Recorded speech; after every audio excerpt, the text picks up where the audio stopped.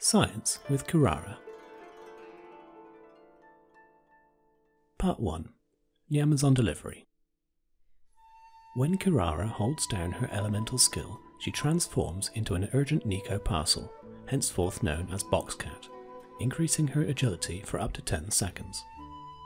Boxcat's most prominent feature is to scale great heights at a speed of 3.5 blocks per second. For comparison, characters usually climb at 0.9 to 1 block per second. Stamina consumption is increased to match the new speed, but it costs around the same amount to climb a given distance. If she approaches a cliff carefully, she can descend. As full control is maintained in this state, horizontal movement is possible and much faster than any other character. Once the skill expires, Kirara will reappear, but she won't be able to activate the ability again until she's on solid ground once more. Boxcat also grants improved speed akin to a sprint. This does not consume stamina, but regeneration is also halted.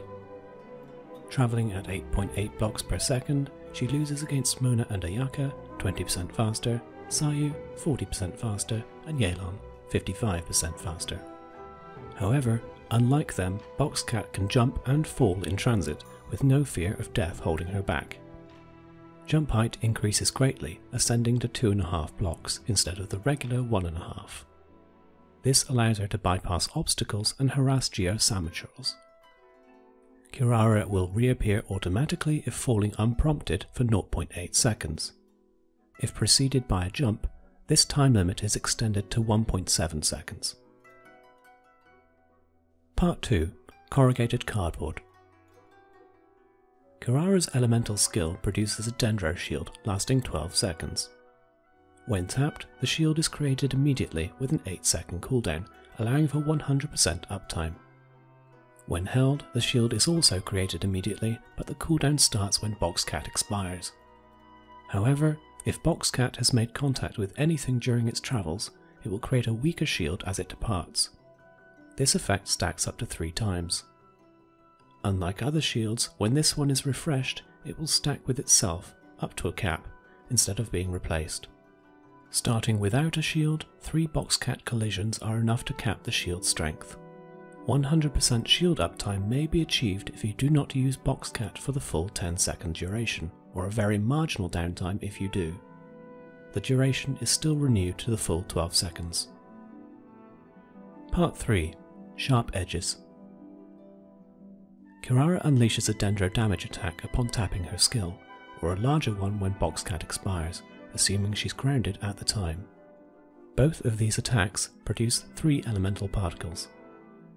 A travelling Boxcat will deal Dendro damage to enemies within a radius of 1.5 blocks every 0.5 seconds.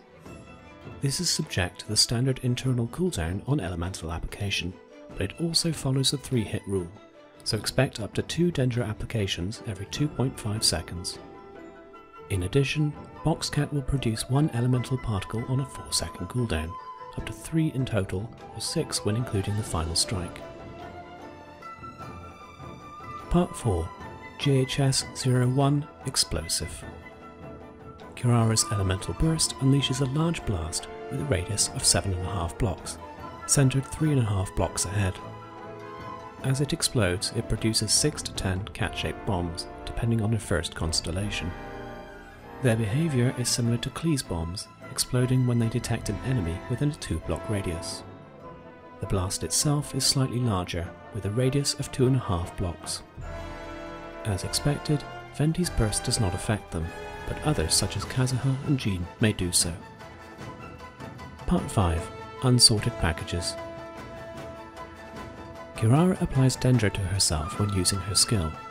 If she is wet at the time, this will produce a Dendro core. Additionally, if she is still wet when Boxcat expires, another Dendro core will be produced. The final strike of Kirara's elemental skill can trigger the Sacrificial Sword's effect, but Boxcat collisions will not, as there is no cooldown to reset at the time. Kirara has great synergy with the Key of Nasut, with each Boxcat collision causing a stack of its buff. Timmy was looking forward to his new delivery of bird feed. Despite a coerced 5 star review, Timmy has now cancelled his subscription with Komaniya Express.